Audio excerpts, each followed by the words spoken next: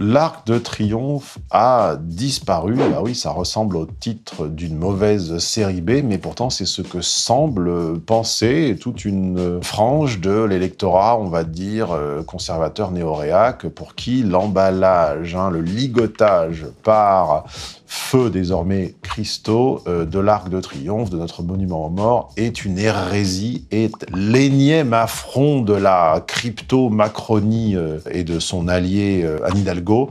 Bon, bref, euh, je suis un peu choqué de cette véhémence, je la trouve injuste, J'en savais peu, trop peu, à mon goût, sur Christo, ses réalisations, son mode de travail, et même sa personne. Je me suis renseigné et j'ai désormais envie de partager avec vous le fruit de ce travail. Vous allez voir, ça remettra peut-être en question un certain nombre de, votre, de vos certitudes, et notamment une par rapport à la dépense, euh, aux frais, au gaspillage. Non, non, non, non, non, ça ne vous a pas coûté 14 millions d'euros, ni à euh, la ville de Paris, ni à vous. Vous n'êtes pas les investisseurs. Je vous expliquerai dans quelques instants comment le business model fonctionne, mais tout simplement, de temps en temps, euh, il faut savoir ne pas hurler avec la meute. Hein. Il faut savoir se départir de ses impulsions initiales.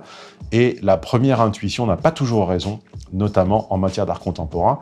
C'est le but de cette petite vidéo d'actualité que de vous ramener à un petit peu de raison, parce que c'est pas la peine de, vous, de rire avec moi grassement dans les vidéoscopies, par exemple, des gens dont je dis qu'ils n'arrivent pas à faire communiquer les ovaires et le cerveau pour vous livrer aux mêmes errances. Hein. Un peu de justice, un peu de justesse, un peu de parité. C'est parti. Il vous reste quelques instants pour profiter de notre offre exceptionnelle au rayon M6. On va passer un petit coup de fil avec mon, casque Bluetooth. Oui, allô, bonjour, c'est Stéphane Edouard. Je voudrais parler avec le sosie officiel de Nicolas Cara. Oui, c'est toi, Nico. Oui, c'est Stéphane Edouard. Ça va? Tu t'es bien remis de la, la, pandé la, ouais, la pandémie, ouais, tu t'es soigné, oui, tu t'es soigné, vacciné, tu étais à trois doses, bon, tout va bien.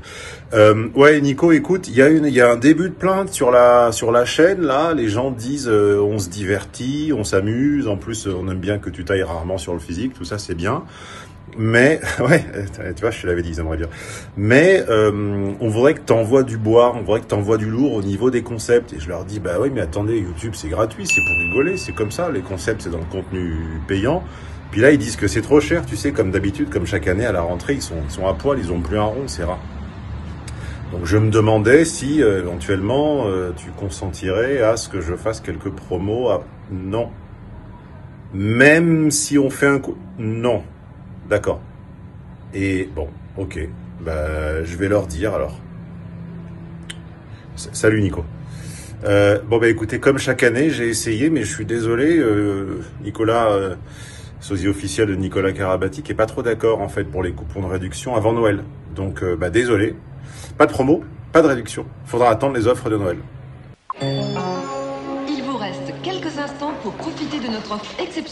au rayon M6.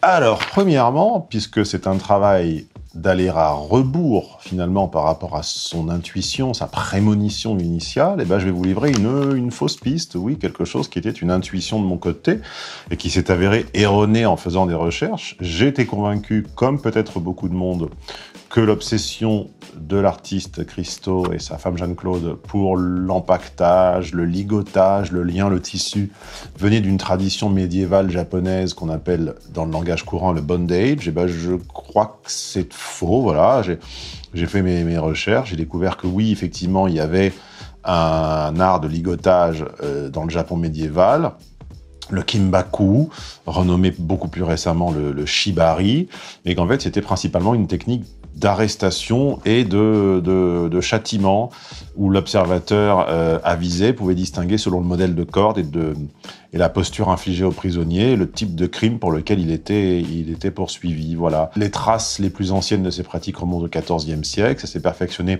tout au long du shogunat Tokugawa de 1500 en gros, de 1600 pardon, 1603 à la fin du 19e siècle et au 20e, c'est uniquement au 20e que l'érotisme semble-t-il lié au cordage euh, apparaîtra. Voilà, les traces les plus euh, visuelles euh, ne remontent finalement pas plus loin qu'aux années 50 via les revues spécialisées et un certain photographe fétichiste John Willy. J'ignore si c'est montrable ou pas. On montrera en post-production peut-être ces réalisations qui ne qui restent dans le, on va dire dans le, dans les limites de ce qui est montrable à l'écran.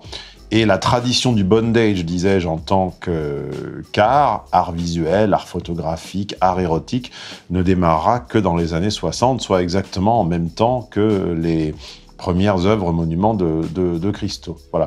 Donc je crois peu finalement que son travail prenne son inspiration dans les racines d'une tradition médiévale. Ma connaissance du sujet s'arrête là. Encore une fois, l'idée c'était de vous montrer que quand on ne sait pas et qu'on a envie de résister à son impulsion, de ne pas hurler avec les autres loups de la meute, eh bien on se renseigne.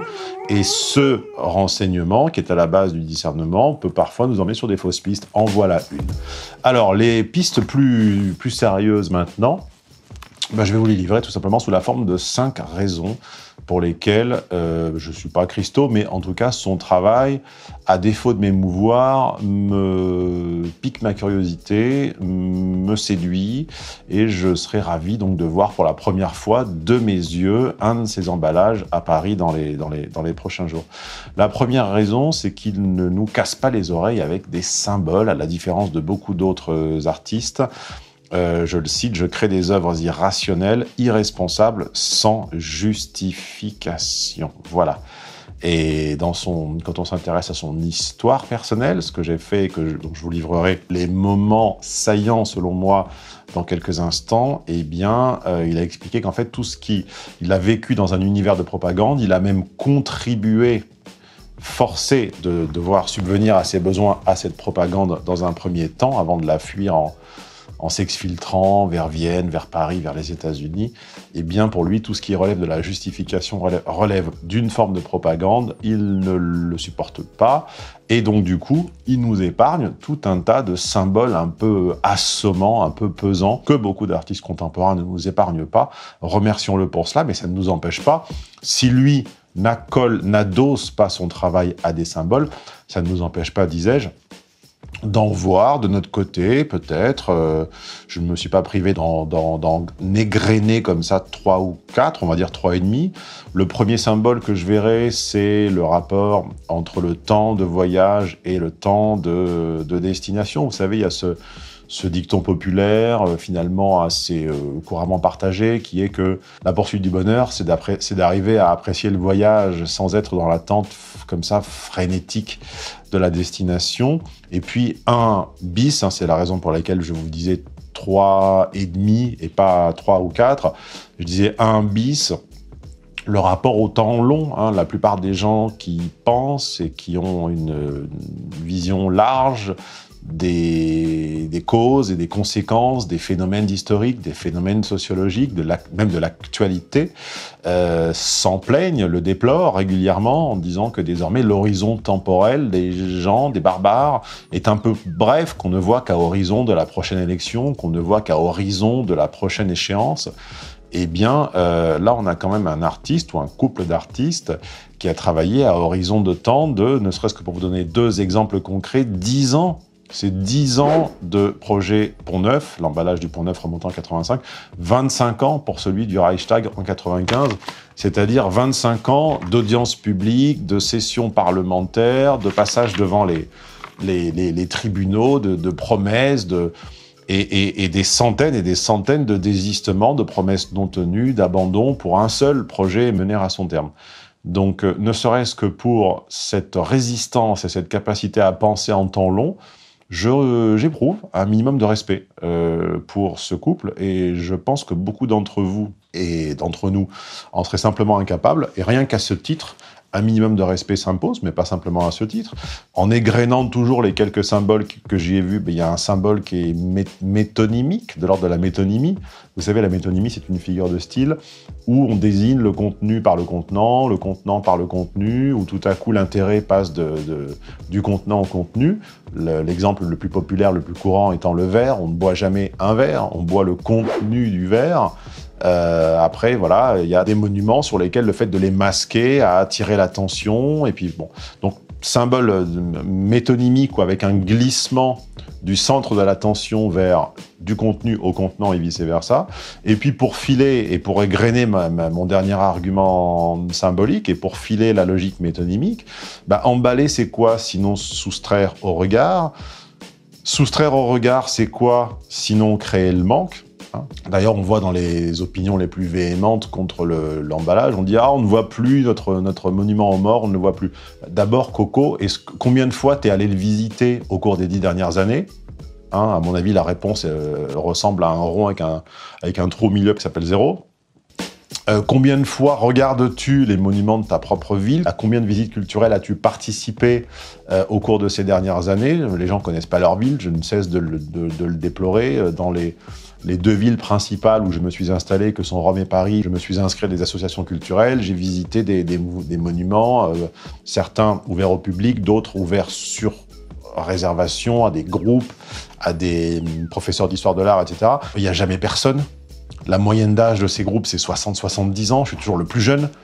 Euh, donc à un moment, euh, plaignez-vous qu'on soustraye à votre regard des œuvres que de toute façon vous ne comprenez pas, vous n'appréciez pas et vous ne regardez pas.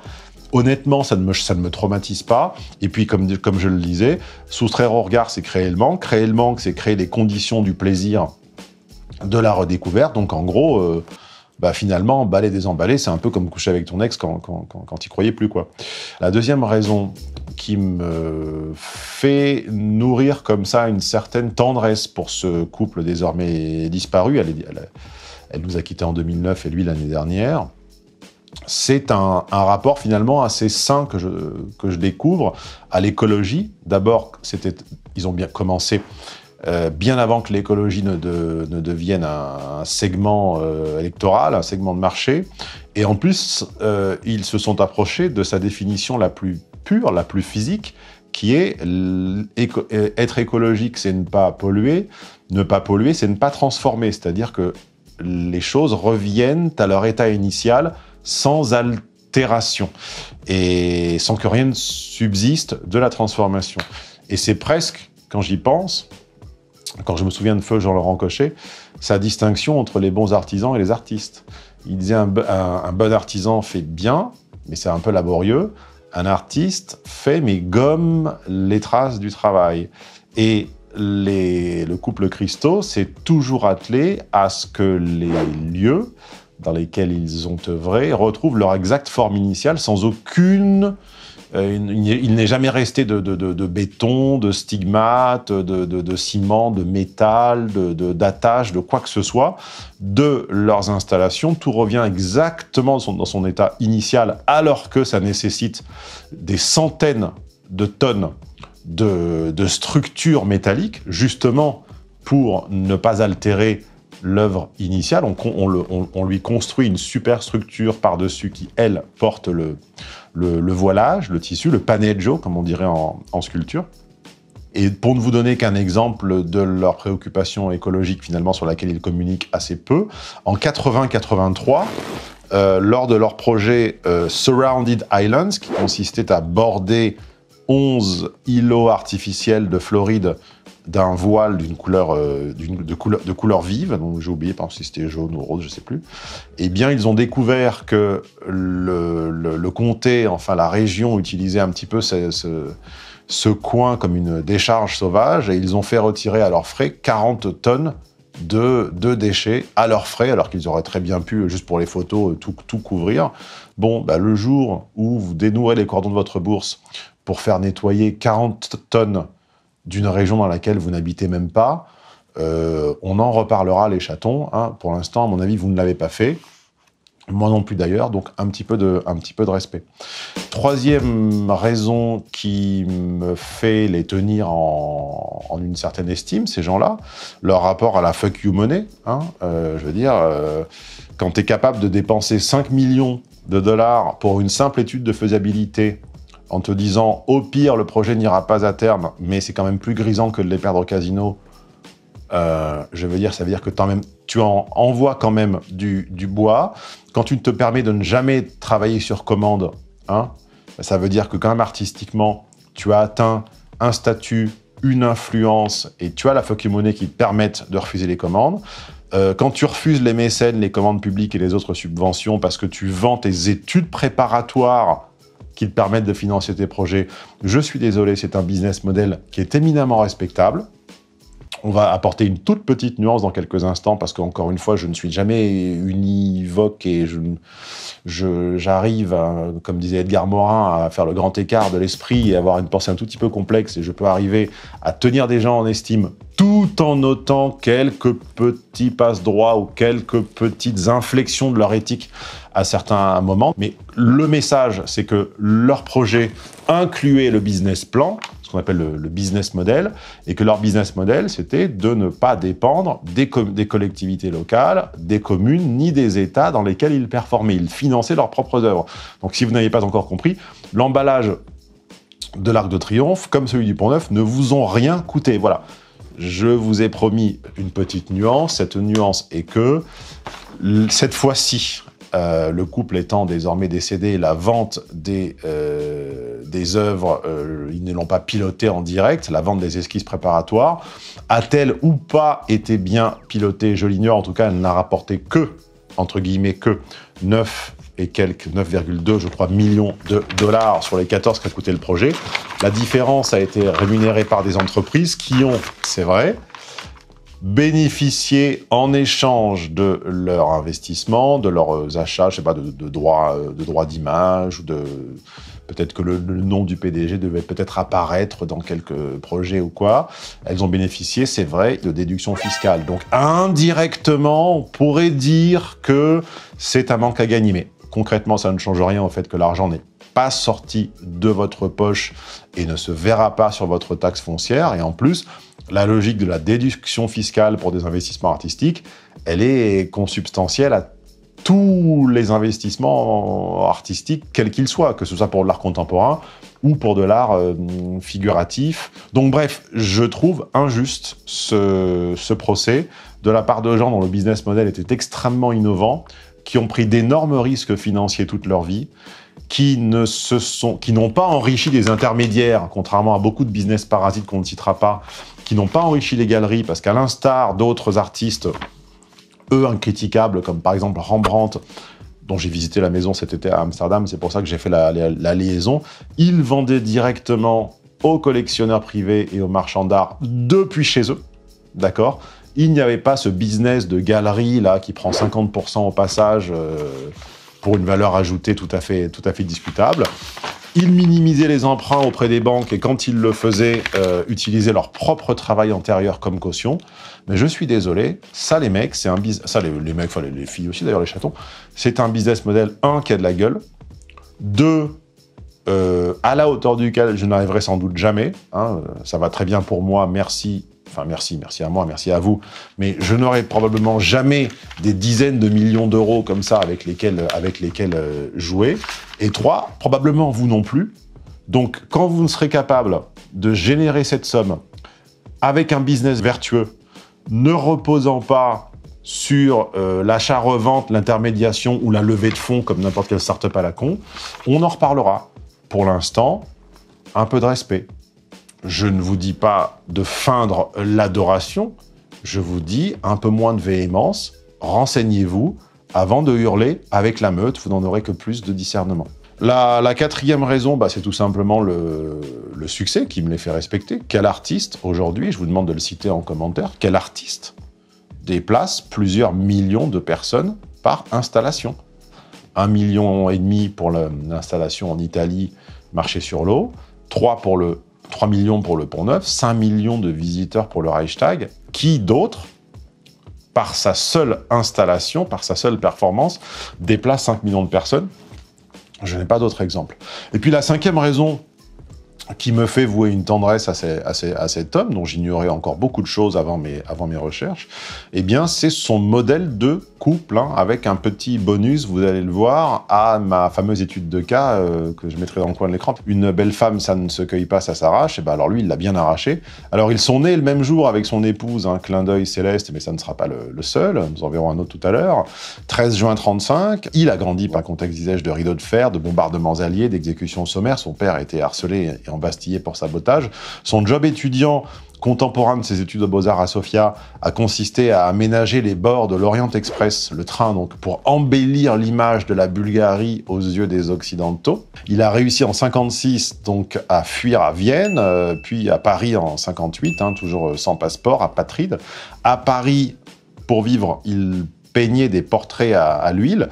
Et c'est en réalisant celui du directeur de l'école polytechnique qu'il rencontre sa, fille, la fille du directeur, pas la sienne. Et en tombe amoureux. Il la décrira comme une rousse, une rouquine si parfaite qu'elle semblait encore dans son emballage. Elle semblait toute neuve dans son emballage plastique, disait-il il deviendra son amant. Alors oui, il s'est toujours empêché de, filer le, le, symbolisme, encore une fois, emballage, machin.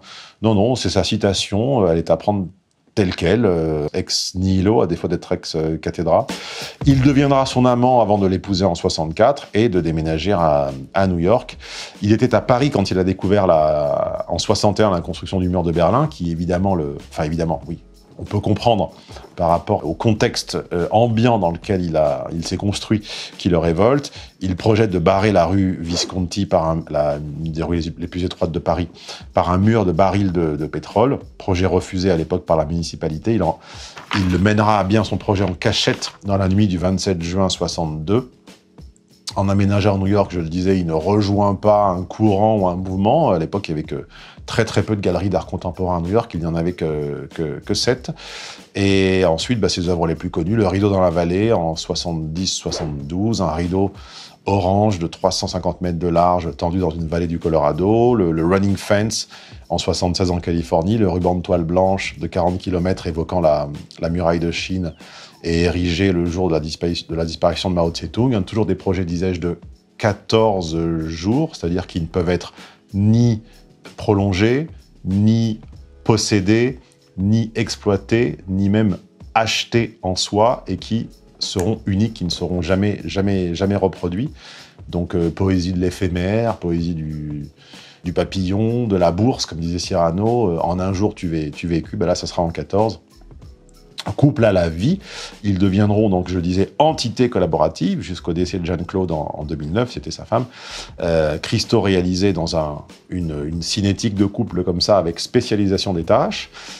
Christo réalisait les maquettes et les dessins, pendant que euh, Jeanne-Claude assurait les démarches administratives. Non, non, elle n'était pas à la cuisine. Coordonnait la réalisation et remplissait également souvent la fonction de porte-parole du couple, que ce soit, disais-je, devant les tribunaux, les audiences publiques et les sessions parlementaires. Bref, je ne vous ai sans doute pas convaincu de vouer un culte à Christo, je ne lui voue pas non plus un culte, j'ai simplement du respect pour les informations que j'ai trouvées à son sujet, au sujet de son financement, au sujet de son couple. Son œuvre esthétiquement ne me chamboule pas, mais j'ai une tendresse et une curiosité pour le paneggio, je le disais, pour le drapé, hein, en sculpture euh, classique par exemple, on reconnaît les époques aux techniques de drapé. Un bon sculpteur est quelqu'un qui arrive à draper une transparence. Souvenez-vous mon anecdote, le plus beau cadeau fait à une femme, enfin la plus grosse surprise que j'avais faite à une femme, c'était lui offrir euh, la, robe sur mesure en tulle transparente d'un cadre euh, païen qu'elle avait comme ça publié sur un réseau social. Bref, donc oui, euh, il y a une poésie dans le, sort que réservent les éléments au tissu. J'aime le bruit de l'eau qui goutte sur un tissu quand vous roulez, en, vous, roulez en décapotable avec un toit en tissu, quand il se met à pleuvoir. Il n'y a rien de plus sensuel et confortant le bruit des gouttes d'eau sur le tissu. J'aime le bruit du vent qui claque dans une voile, hein, le, tissu qui claque par le vent également. Il y a quelque chose de, vivifiant. J'apprécie la conception écologique et le soin pris à ne laisser aucune marque et aucune altération au lieu. Et, voilà, j'apprécie le succès, j'apprécie la fuck you money. Je ne vois rien qui mérite la véhémence des critiques dont ils ont été mutuellement l'objet de la part de la frange, on va dire, néo-réac conservatrice. Je ne vois pas le symbole d'un asservissement de la population, je ne vois pas une, une, utilisation frauduleuse des fonds publics, je ne vois rien de tout ça. Et je vous invite, à défaut d'aimer, à remettre vos avis en question, surtout quand ceux-ci viennent d'une impulsion initiale et d'une volonté de hurler avec la meute. Hein. Le discernement, c'est également à ce prix. Et si ma façon de traiter l'actualité, et si ma façon de prendre le risque de me mettre à dos une partie de mon propre auditoire vous a séduit, eh bien, je vous invite à vous pencher sur mon séminaire du même nom, qui s'appelle Le discernement, et qui essaiera de vous en transmettre un petit peu sur la plupart des sujets, liens, informations ci-dessous. Et puis, euh, je dois pointer du doigt, là, je crois, pour vous inviter à consulter mes autres vidéos d'actualité, sinon mes monteurs vont, vont râler.